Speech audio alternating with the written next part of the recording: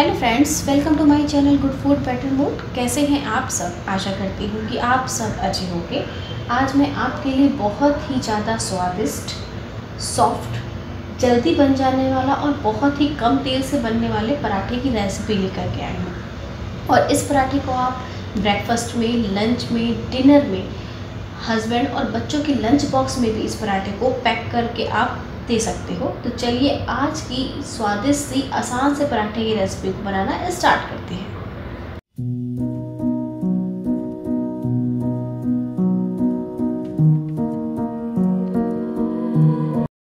तो पराठा बनाने के लिए एक बड़े बोल में एक उबला हुआ आलू आपको ग्रेट कर लेना है।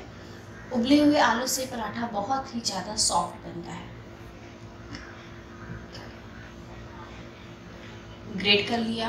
अभी लेना है पाँच से छः लहसुन, एक इंच अदरक और एक हरी मिर्च को आपको दरदरा कूट करके इसमें डाल देना है।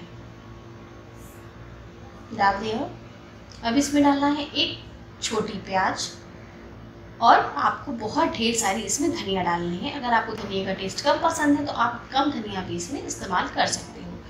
एक चम्मच डालना है आपको धनिया पाउडर, आधा चम्मच डालना है लाल मिर्ची का पाउडर और नमक आपको अपने टेस्ट के हिसाब से इसमें ऐड करना है।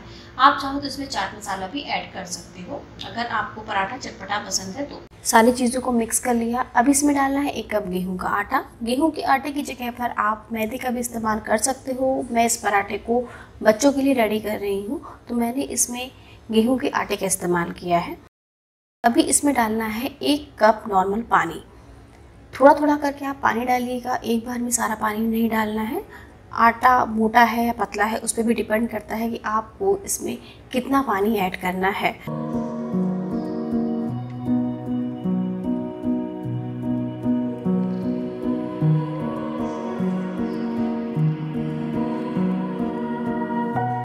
आप बैटर की कंसिस्टेंसी देख लीजिएगा, उसी हिसाब से आप पानी इसमें डालिएगा। वैसे एक कप गेहूँ के आटे में एक कप पानी का इस्तेमाल होगा, थोड़ा बहुत कम ज़्यादा भी हो सकता है। तो बैटर रेडी हो गया। अभी हमें पराठा बनाना स्टार्ट करना है। तो पैन को हमने हल्का गर्म कर लिया, गैस की फ्लेम को लो टू मीडियम रखा है। हल्का सा सभी तरफ़ ऑयल लगा दिया पैन पे। अभी हमें इसमें बैटर डालना है। बैटर आपको बहुत ज़्यादा नहीं डालना है। जैसे आप स्टफ्ड पराठे वगैरह बनाते हो उसकी थिकनेस जैसी होती है, उतना ही बैटर आपको डालना है। गैस की फ्लेम को लो टू मीडियम करके एक तरफ़ से आपको सेक लेना है।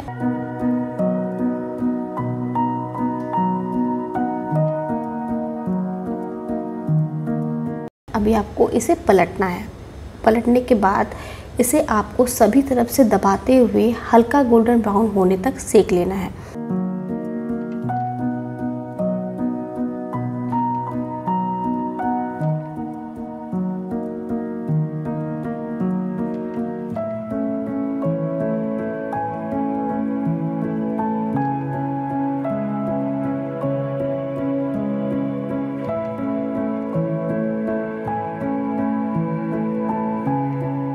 तो अभी आपके पराठे बिल्कुल बढ़िया से सिक गए हैं। ये पराठे बहुत ही ज़्यादा हेल्दी है टेस्टी भी है और बहुत ही ज़्यादा सॉफ्ट है। बच्चों को तो ये बहुत पसंद आते हैं। ब्रेकफास्ट के लिए सबसे ईजी ये रेसिपी है और टेस्टी भी है।